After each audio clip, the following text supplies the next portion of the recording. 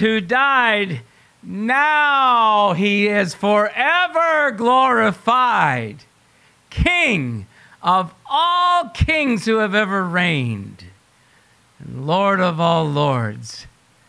Amen. The ruler of the universe. I love it.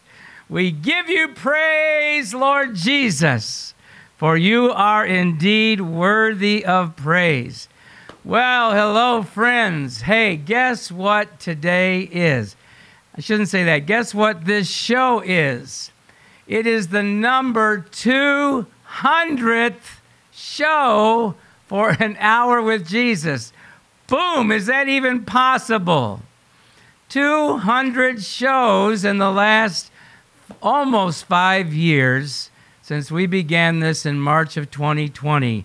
I think we just better sing this just for the Lord.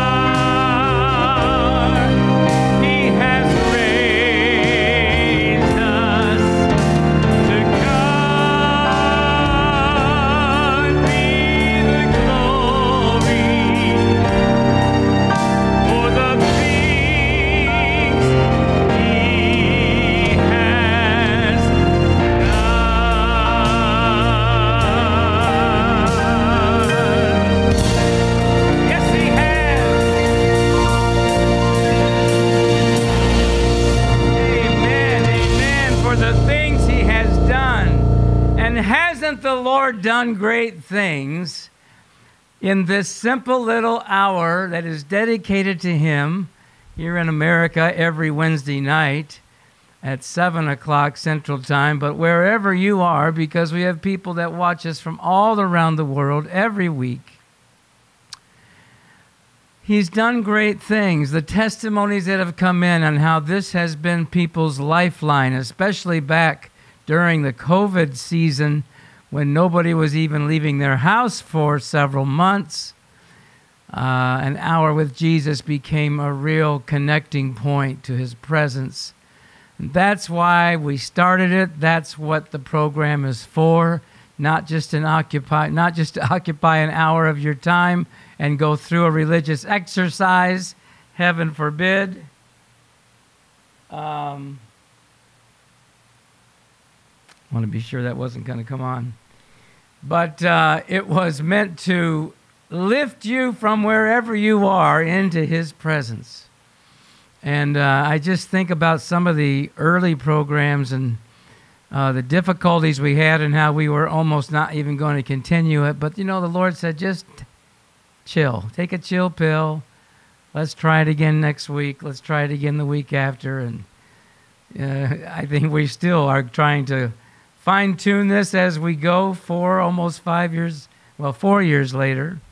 We're in our fifth season, but this is coming up to the end of our fourth year of being on the internet every single week, except for a couple weeks in August when we shut down and retool for the next season. And it's just been a joy to get to know so many of you. Many of you have become glory partners, and I thank you so much. And I give God glory for your life and for your participation in this ministry to see His presence touch people around the world. I really do. Could not do this without you. I've said it so many times. It's not even feasible.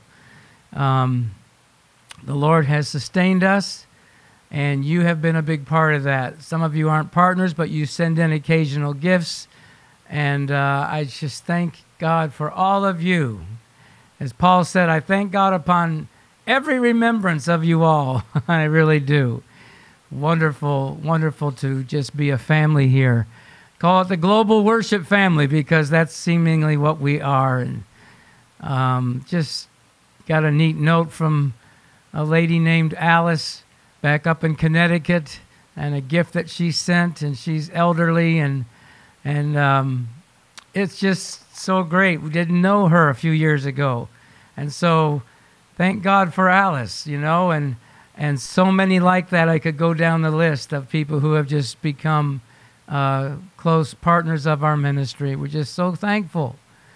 Um, I remember one one week uh, when Pat was my assistant. Pat lives about oh 10 or 12 minutes from here, and Liz was gone, and so I was flying solo with the cameras, and didn't realize that there was a setting on the main computer monitor that did not show me what I was seeing on my monitor, okay? My monitor was fine, but what you were seeing was blackness. And Pat tried to reach me probably four or five times, but I can't see my phone and I can't hear my phone. And so she got in her car, and here I am just going after it. And I hear this voice back in the back of the studio here saying, Terry, the, cameras aren't on. you could hear it, but you couldn't see it. So that was one of the fun evenings. I was just so thankful that Pat uh, had the uh, the the for, forthrightness to come over and, and try to straighten this out so that you could enjoy the rest of the program. Although hearing is way more important than seeing. Amen? Uh, I'll say amen to that. Um, anyway, it's just been a wonderful journey. Um, maybe some of you want to become a glory partner for the next season here. I don't know how long. God will give us grace to do this. Um, be fine with me if it was until He comes. And it would be fine with me if He came at the end of this program or during. Praise the Lord. With the way things are in the world today, even so, come quickly, Lord Jesus. Can you say amen to that? I bet you are. Praise the Lord. All right.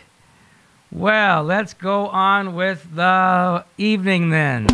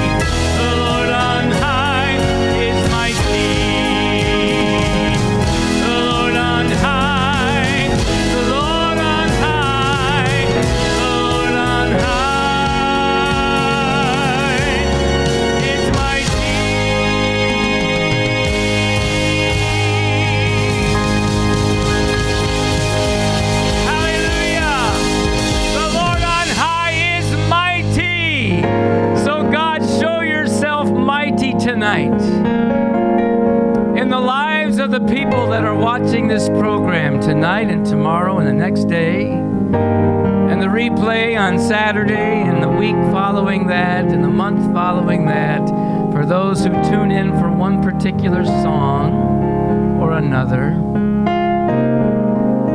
show yourself mighty. Jesus, be a healer to those who are sick in body. Be a provider, Jehovah Jireh, to those who have great financial need. Heal wounded hearts. Restore relationships.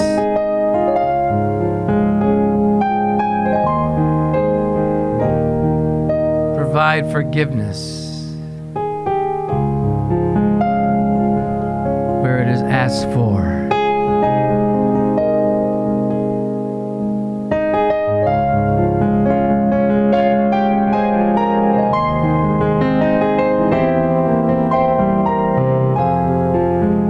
Take us all to a higher place, Lord, this year than we've been before, come to a new understanding of who you are, and to realize that your ways are unsearchable. your judgments are true and unsearchable. You are mightier than the thunder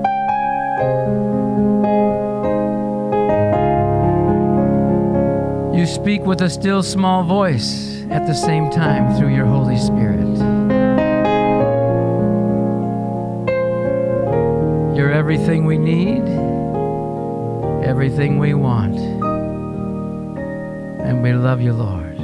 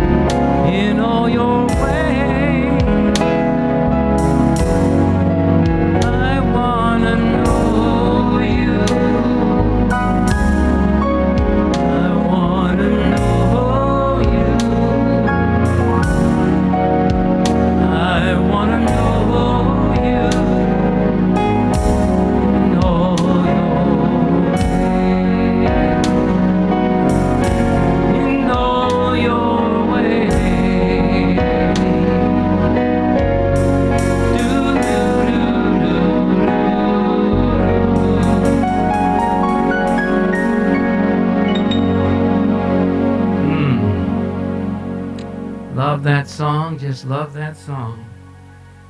I want to know you in all of your ways.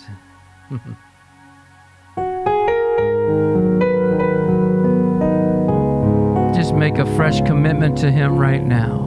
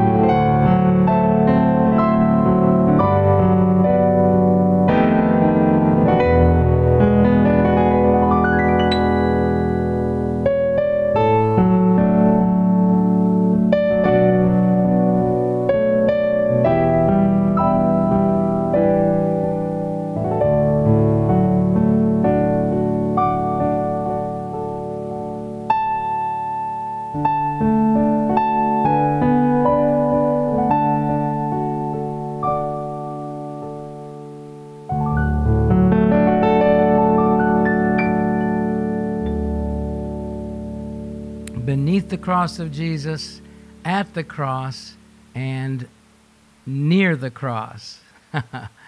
Wonderful little cross medley there. I really didn't know where I was going or how I was going to get there, but um, it's how the, the mind works sometimes when I sit down and start playing things like that. Well, I hope those old hymns were um, kind of fun for you to sing along with or worship with.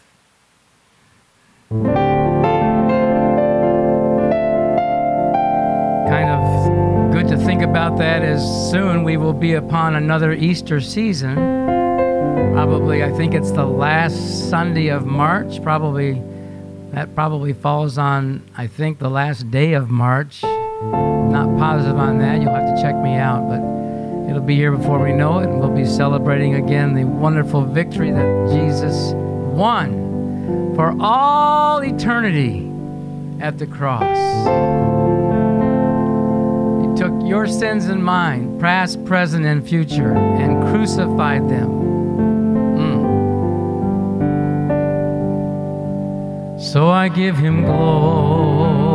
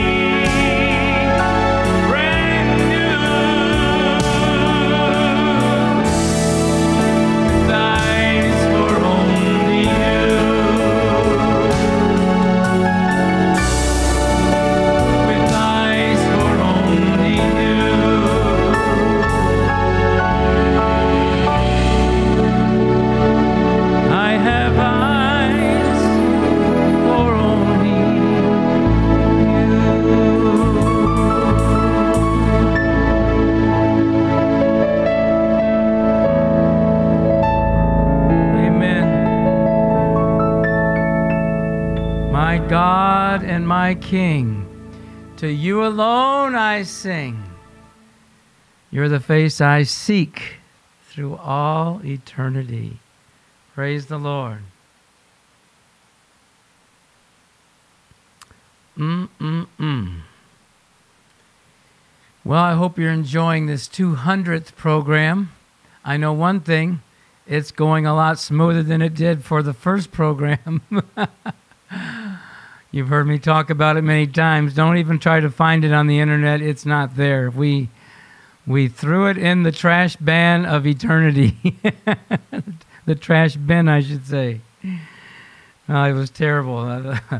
The audio was distorted. The video didn't even work most of the time. And we didn't have enough signal to keep it consistent. And you know what? God gave us grace to get it right a little bit at a time, didn't He? Praise the Lord. Here's a favorite that. Um, uh, is on the Refreshing Volume 1 album.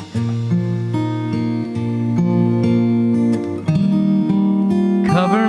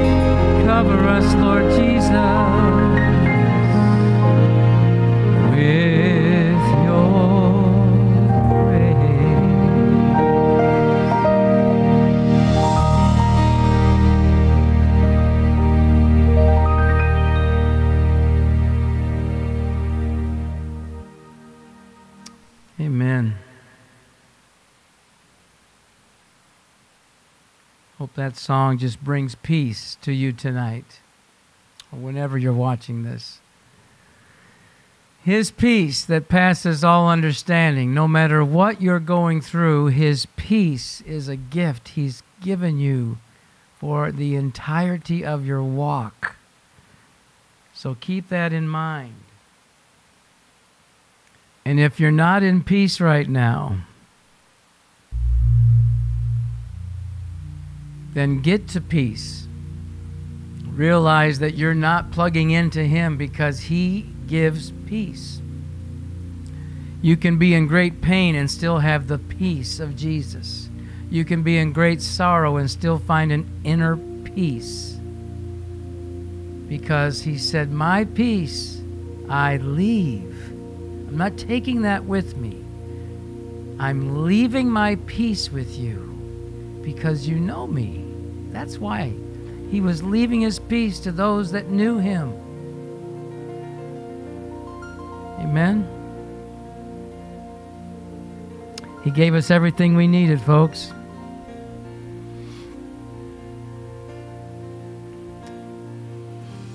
Let's um, look into the Word for a bit.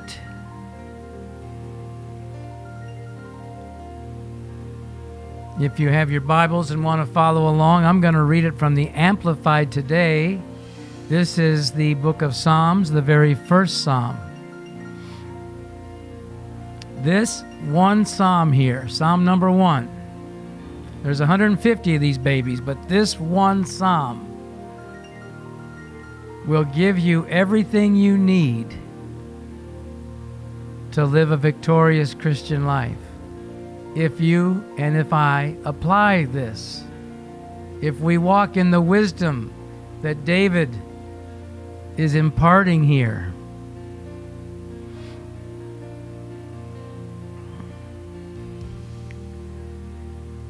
from the Amplified Version, Psalm 1 Blessed, fortunate, prosperous, and favored by God is the man who does not walk in the counsel of the wicked.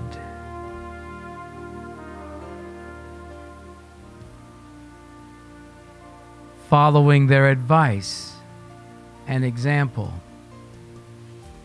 Think about that. Are you swayed by certain personalities on social media that aren't Christian but seem to be very smart? Do you look at financial uh, wizards in this generation and take their advice? If they're not following God, I wouldn't take it because sometimes God does things that don't make much sense to the wise of the world. Matter of fact, He chooses foolish things to purposely confound them. Nor stand in the path of sinners. So, what is that? That means you don't go places where your feet don't belong. You don't go places where sin is obviously being practiced. You don't take things in that are sinful to your spirit man.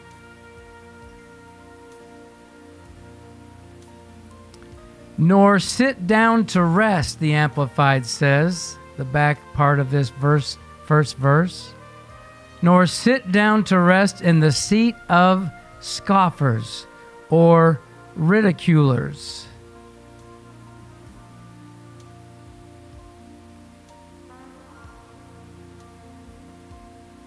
Um, shallow thinkers, that says, or shallow thinkers who are quick to mock or disdain. So you got to stay away from those three things. You don't walk in the counsel of the wicked. Think about these fortune tellers and palm readers and astrologists who do not receive knowledge from the Word or the Lord Himself, and yet they steer many, many people down paths that are not profitable to their lives.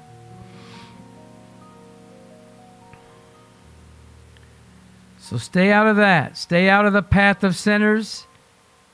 And don't sit down even to rest in the seat of ridiculers. Those people that are just always ready to find fault. Go on to Facebook. You can find about a hundred of them in one post as the comments come rolling in. They're all over the place. And if you let that stuff feed you all the time, you don't realize how much it's having an effect on your soul, and you will start to ridicule.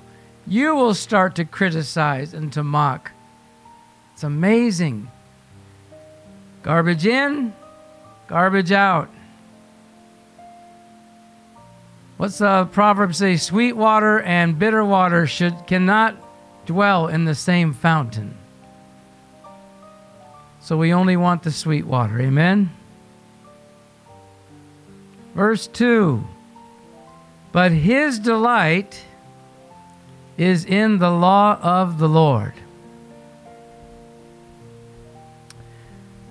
And on his law, his precepts and teachings, he habitually, on purpose, meditates day and night. Let me read that again. And on his law, his precepts and teachings, he habitually meditates day and night. Now, if we do verse 1 and verse 2, I'm telling you, that's it. Because verse 3 is going to say how our lives are going to go. And he will be like a tree, firmly planted and fed by streams of water, which yields its fruit all the time. No, doesn't say that, Mr. Terry. Which yields its fruit in its season.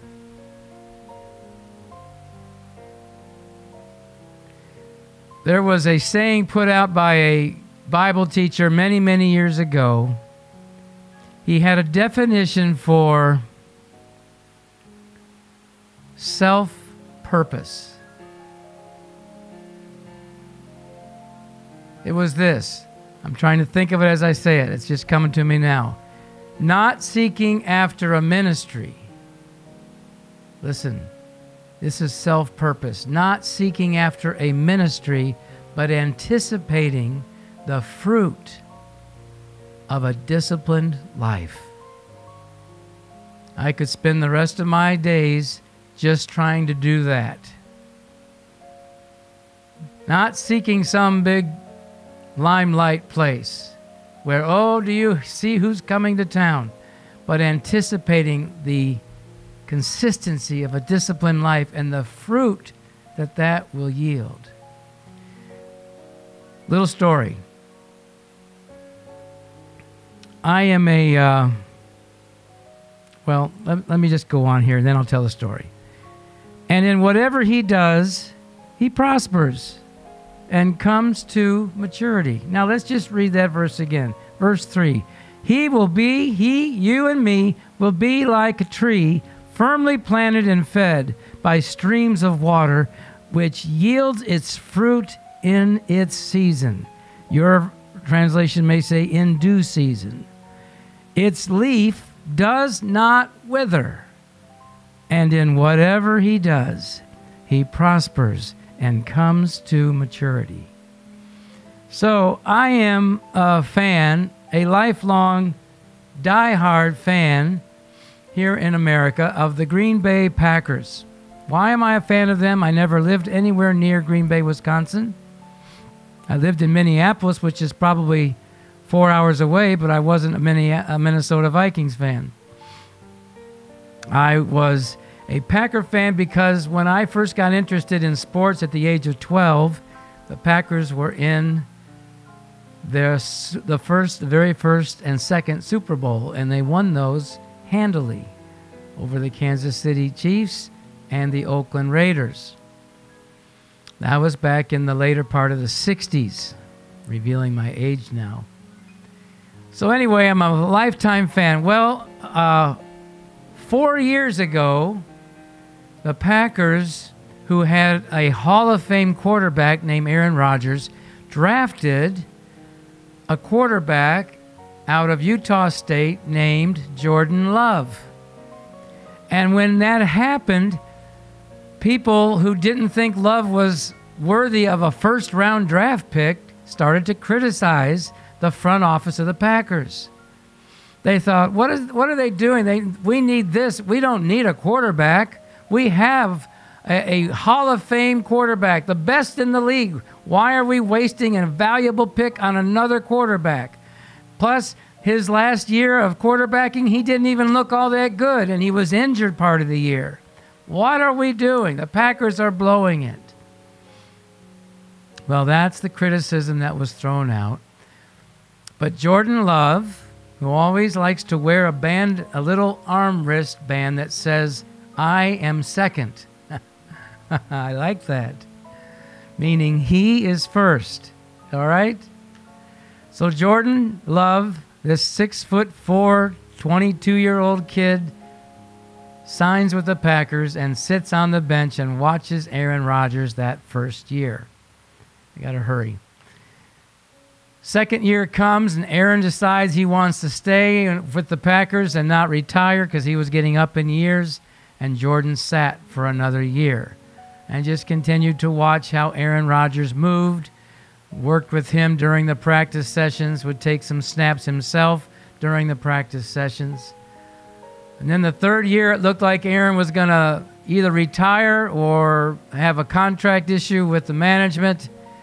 And it was going to be Jordan Love's turn. Well, as it turns out, Aaron decided to stay with the Packers and played. And Jordan Love sat on the bench again for an entire season. And folks, when you're a first round draft pick, that doesn't happen. That was humiliating to that young man. That was so hard. He felt like he had gifts and talent. So, the end of last season, Aaron decided to part ways with the Packers, and they said, We are ready to move on to Jordan Love. And Jordan finally got his turn this last year, starting in September, with the Packers. And the first few games, he had some up times and he had some down times. He had some praise and he had some criticism, but he just kept plugging and kept uh, honing his skill. And the last nine games of the season, now the Packers were three and six, but the last nine games, they were seven and two. And Jordan led the whole league those nine games in touchdowns versus interceptions. He had 21 touchdowns, I believe, or 23 touchdowns, and only one interception. That's ridiculous. He went to being laughed at, to being one of the best quarterbacks in the league, even got them into the playoffs where they weren't supposed to be, even won the first game of the playoffs. And next year, we're all excited about what's coming. But this was a disciplined life who just sat on the bench and sat on the bench and sat on the bench. And that's what was needed. And when it was his due season, he yielded his fruits because he was firmly planted and watered and fed. That's the lesson for us today. All right? Psalm 1. Do those things. Don't sit in the seat. Don't stand in the path. Don't join the scornful. Just obey the word of God and meditate on it day and night, and you will yield your fruit in due season. Love you all. Thank you for joining me on this 200th show. Liz and I send our blessings to all of you. And until next time, whether we see you here for 201 or there or in the air, bye bye for now.